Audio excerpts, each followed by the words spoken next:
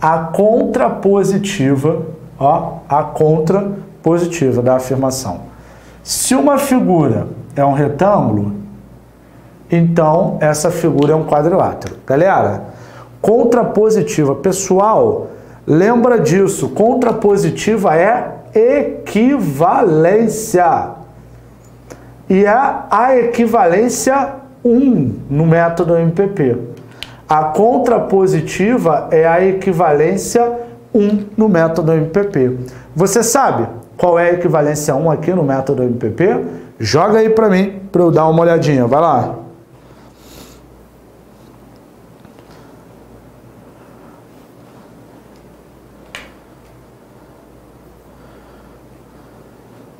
Joga aí, você sabe.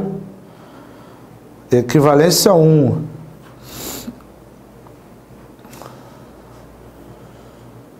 Ó, pessoal, a equivalência 1 no método MPP, que é a contrapositiva, é o nega tudo inverte, tá legal? Então deixa eu botar aqui, equivalência 1.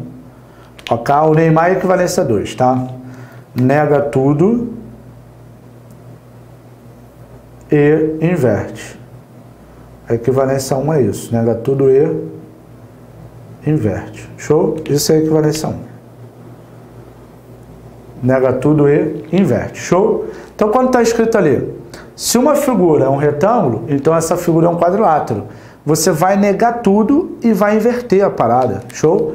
Negando tudo e invertendo, vai ficar, ó, se, vou dar uma abreviada, uma figura é um retângulo, então essa figura é um quadrilátero. Vai ficar, se uma figura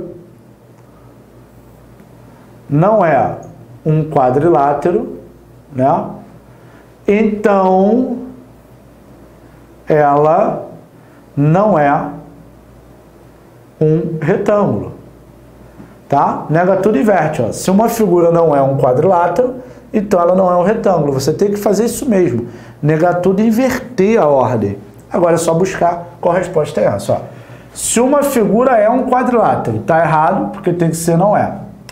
Se uma figura não é um retângulo, está errado, porque tem que ser não é um quadrilátero. Não basta negar tudo, não basta inverter, tem que negar tudo e inverter. Letra C. Se uma figura é um retângulo, está fora.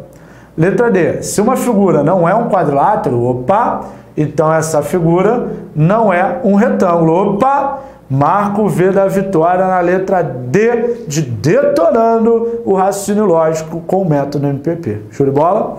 Maravilha?